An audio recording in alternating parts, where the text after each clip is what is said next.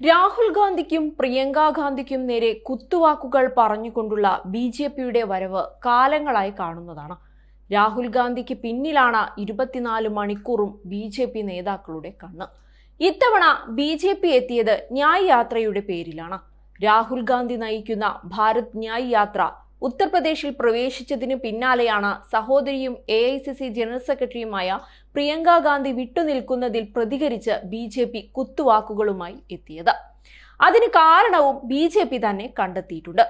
കോൺഗ്രസ് പാർട്ടിയുടെ ഉടമസ്ഥാവകാശം ആർക്കെന്ന തർക്കമാണ് പ്രിയങ്ക ഗാന്ധി ന്യായ് യാത്രയിൽ നിന്ന് വിട്ടുനിൽക്കുന്നതിന്റെ പ്രധാന കാരണമെന്നാണ് B J P I T cell മേധാവി അമിത് മാളവ്യ പറയുന്നത്.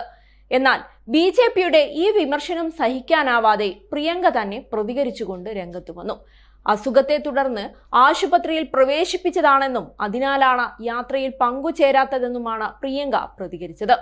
ന്യായ് യാത്രയ്ക്ക് സഹോദരൻ രാഹുൽ ഗാന്ധിക്കും മറ്റു കോൺഗ്രസ് നേതാക്കൾക്കും ആശംസകൾ അയച്ച അവർ തന്റെ അസുഖം മാറിയാലുടൻ അവരോടൊപ്പം ചേരുമെന്നും പറഞ്ഞിട്ടുണ്ട്.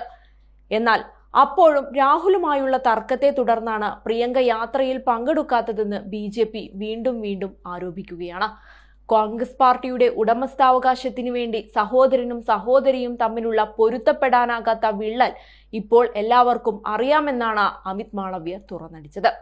ഏതായാലും ഇതിനൊക്കെയുള്ള മറുപടി രാഹുൽ ഉത്തർപ്രദേശിൽ വെച്ച് നൽകിയിട്ടുണ്ട്. മോദി ഭരണത്തിലെ വീഴ്ചകൾ ജനങ്ങൾക്ക് തുറന്നു കാട്ടിക്കൊടുക്കുകയാണ് ഇവിടെ രാഹുൽ. മോദി സർക്കാർ സമ്പന്നരുടെ തെരഞ്ഞെടുക്കപ്പെട്ട കൂട്ടത്തിനു വേണ്ടിയാണ് പ്രവർത്തിക്കുന്നതെന്ന് ആരോപിച്ച രാഹുൽ ഗാന്ധി രാജ്യത്തെ കർഷകരോടും പാവപ്പെട്ടവരോടും തൊഴിൽരഹിതരായ യുവജനങ്ങളോടും അനീതി കാണിക്കുന്നുവെന്ന് കഴിഞ്ഞ ദിവസം പറഞ്ഞിരുന്നു. രാജ്യത്ത് പ്രത്യയശാസ്ത്രങ്ങളുടെ പോരാട്ടമാണ് നടക്കുന്നത്. ഇത് ഒരു രാഷ്ട്രീയ പോരാട്ടമാണെന്നും അധികാരത്തിനായുള്ള പോരാട്ടമാണെന്നും ആളുകൾ കരുതുന്നു. എന്നാൽ ഈ പോരാട്ടത്തിന്റെ അടിസ്ഥാനം പ്രത്യയശാസ്ത്രമാണ്. രണ്ട് വിരുദ്ധ പ്രത്യയശാസ്ത്രങ്ങളാണ്. പാവപ്പെട്ടവന്റെ ഭൂമി തട്ടിയെടുക്കുന്നു. പക്ഷെ ടി വിയിലൊന്നും കാണുന്നില്ല. വിലക്കയറ്റം തൊഴിലില്ലായ്മ തുടങ്ങിയ വാർത്തകളൊന്നും തന്നെയില്ല. അമിതാഭ് ബച്ചൻ ഐശ്വര്യ റായ് പാകിസ്ഥാനിലെ ഷോകൾ മാത്രമേ ടി വിയിൽ കാണാനാകൂ എന്ന് രാഹുൽ ജനസാഗരത്തിന് മുന്നിൽ വെച്ച് മോദിയെ ചൂണ്ടി സംസാരിച്ചു. രാജ്യത്ത് വ്യാപകമായ വിദ്വേഷത്തിന്റെ അന്തരീക്ഷം ഇല്ലാതാക്കുകയാണ് യാത്രയുടെ ലക്ഷ്യമെന്ന് രാഹുൽ ഊന്നി പറയുന്നുണ്ട് വിദ്വേഷത്തിന്റെ വിപണിയിൽ സ്നേഹത്തിന്റെ കട തുറക്കുകയാണ് യാത്രയുടെ ലക്ഷ്യമെന്ന് പറയാനും കോൺഗ്രസ് നേതാവ് മറന്നില്ല. തീർന്നില്ല. രാമക്ഷേത്ര ചടങ്ങ് പോലെ നയരൂപീകരണം മുതൽ ക്ഷേമപ്രവർത്തനങ്ങൾ വരെയുള്ള എല്ലാ മേഖലകളിലും ദരിദ്രർ അവഗണിക്കപ്പെടുകയാണ്.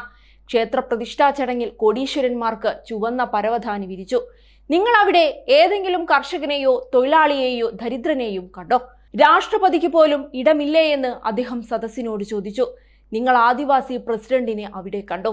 രാഷ്ട്രപതിക്ക് അവിടെ ഇടമില്ലായിരുന്നു. മോദിജിക്ക് വേണ്ടിയായിരുന്നു ആ ചടങ്ങ്. അംബാനിയും അദാനിയും ശതകോടീശ്വരന്മാരും മാത്രമായിരുന്നു ആ ചടങ്ങിനെത്തിയതെന്ന് രാഹുൽ ഉറക്കെ വിളിച്ചു പറഞ്ഞു. മോദിയുടെ ഈ ഭരണത്തിനു മുന്നിൽ ഒരക്ഷരം മിണ്ടാതിരിക്കുന്ന പല നേതാക്കന്മാരും രാഹുലിന്റെ ഈ വാക്കുകൾക്ക് മുന്നിൽ പകച്ചു നിന്നുവെന്നതിൽ ഒരു സംശയവും വേണ്ട.